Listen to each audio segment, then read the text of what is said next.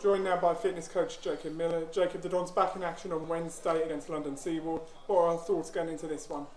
Yeah, we're looking forward to it. Uh, it's always nice to have a game under the lights, especially when it's at home and not sort of a million miles away. Um, but yeah, as per usual, we're looking forward to it. Um, it should be a good game. Now, what challenges does it present from a fitness point of view going into this with a midweek game, you know, in a three-game week?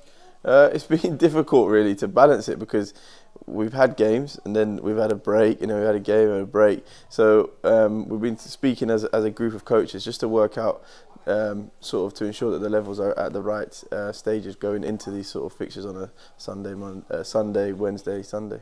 Now, last time out against Cambridge City, very impressive 2 0 win. What are your thoughts on that one?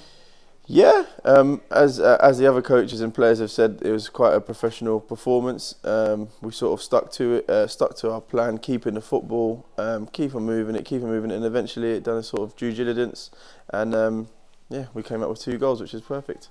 Now the cup draws come out, we've been drawn at home against Watford in the FA Women's National League Cup. What challenges is that going to present to us?